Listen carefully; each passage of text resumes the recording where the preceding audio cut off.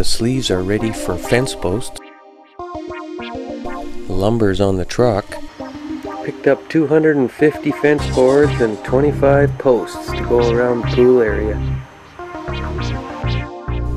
Jim Woods brought a couple loads of dirt for backfilling. Rene Berube did the final grading with his Bobcat.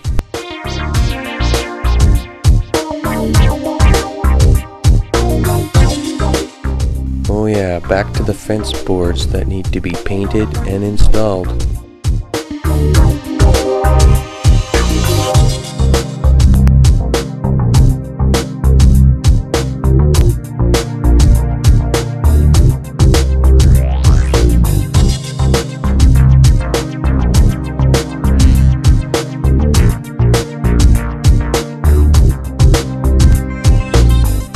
So we painted and installed.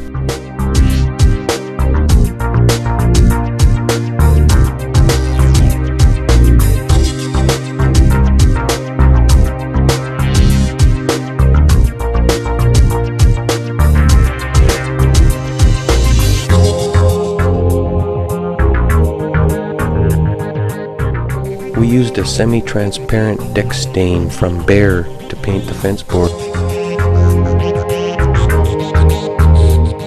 The stain is water-based and cleans up really nicely with water.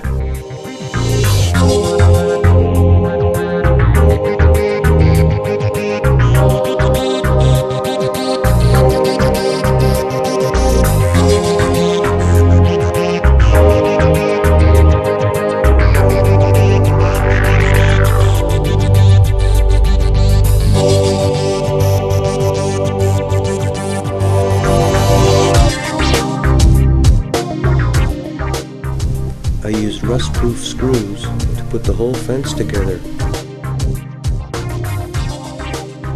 Everything's closed in and private. Job's just about done.